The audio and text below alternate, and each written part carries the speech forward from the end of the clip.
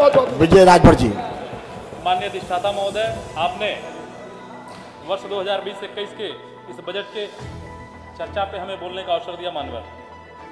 मानवर, यह बजट 2020-21 का बजट, ये बहुत ही बड़ा और ऐतिहासिक बजट है मानवर।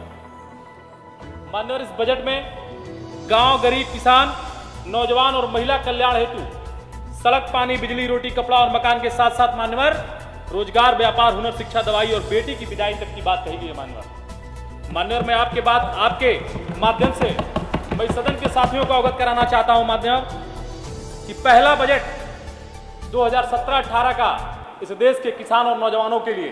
दूसरा बजट 18 और 19 का यहाँ उद्यमियों के लिए। और तीसरा बजट, मान्यवर, हमारी मातृशक्ति के रूप में उपस्थित इस प्रदेश की महिलाओं के लिए, मान्यवर।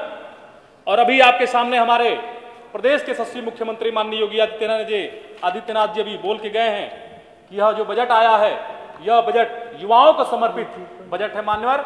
मैं इस प्रदेश के युवाओं की तरफ़ से, मैं इस पूरे उत्तर प्रदेश सरकार को, माननीय योगी जी को, माननीय अपने वित्त मंत्री जी को, मैं पूरे उत्तर प्रदेश के युवाओं की तरफ़ से हार्दिक शुभकामनाएँ बधाई देता हूँ मान्यवर।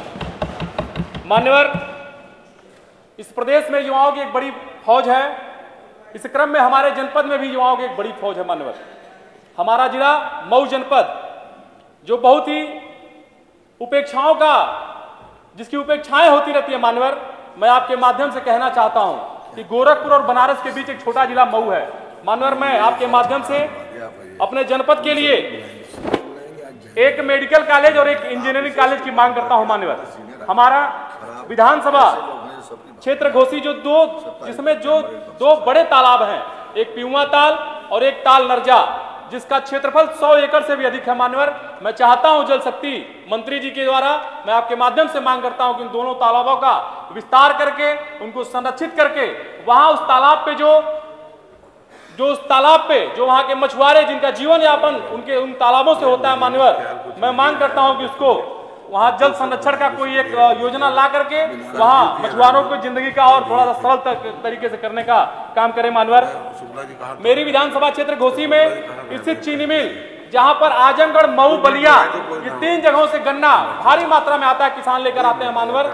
मैं चाहता हूँ कि इस चीनी मिल का विस्तार कराया जाए उसका, उसकी क्षमता वृद्धि कराई जाए मानवर, और उसका कुछ अंश बकाया रह गया है, उस अंश का मैं चाहता हूँ भुगतान कर दिया जाए। ये भुगतान कराए जाने की मांग करता हूँ मान्यवर विधानसभा क्षेत्र घोसी में स्थित इंदारा रेलवे क्रॉसिंग जिस पर आए दिन जो अभी आंकड़ा आया है कि आए दिन अस्सी हज़ार से नब्बे हज़ार जहाँ ट्रैफ़िक जहाँ वाहन आते हैं मैं मा, आपसे मांग करता हूँ इस सरकार द्वारा कि यहाँ पर एक आरओबी का निर्माण कराया जाए मानवर।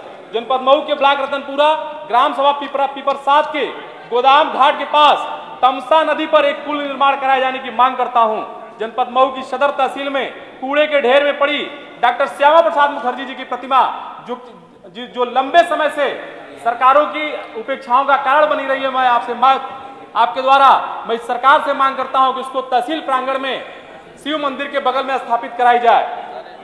जनपद मऊ में बंद पड़ी दो दो काटन मिलें एक परधा कटाई मिल और एक स्वदेशी काटन मिल को पुनः चालू कराए जाने की मैं मांग करता हूँ मान्यवर। जनपद मऊ के पत्रकार बंधुओं के लिए जो लंबे समय से एक मांग है मैं उनके लिए एक पत्रकार भवन निर्माण कराए जाने की मांग करता हूँ मान्यवर।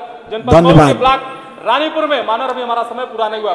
समाप्त जनपद मऊ के ब्लॉक रानीपुर में स्थित अति अति प्राचीन धार्मिक स्थल जो दैया माई के स्थान से जाना जाता है उसकी भूमि को कुछ अराजक तत्वों द्वारा कब्जा किया जा रहा है। मानव मैं चाहता हूँ आपकी तरफ़ से मांग करता हूँ कि उस भूमि को संरक्षित कर वहाँ का सौंदर्यकरण कराए जाने की मैं मांग करता हूँ। समाप्त कर दीजिए। हमारे मऊ नगर पालिका क्षेत्र में जो लंबे समय से विवादित भूमि थी जहाँ फुटपाथ के लोग अपना ठेला लगा करके अपना जीवन यापन करते थे मानवर वो ज़मीन अब नगर पालिका के पक्ष में चली गई है। लेकिन 40 से 50 वर्षों तक वहाँ फुटपाथ के लोग अपना ठेला ठुमका लगा करके उस ज़मीन का संरक्षण करते थे मानवर। धन्यवाद धन्यवाद। जो ठेला जो वेंडर कमेटी है मानवर मैं आपसे मांग करता हूँ कि अगर वहाँ नगर पालिका द्वारा कोई दुकानों का निर्माण होता है तो सबसे पहले वरीयता उन फुटपाथ के लोगों को दिया जाए मानवर। ऐसी मैं मांग करता हूँ मानवर। में इस बजट के पक्ष में मैं अपने विचारों को इस बजट से जोड़ते हुए माननीय योगी जी को माननीय वित्त मंत्री जी को डॉक्टर मुकेश आभार प्रकट करते वर्मा। हुए अपनी बातों को समाप्त करता हूँ। डॉक्टर मुकेश वर्मा।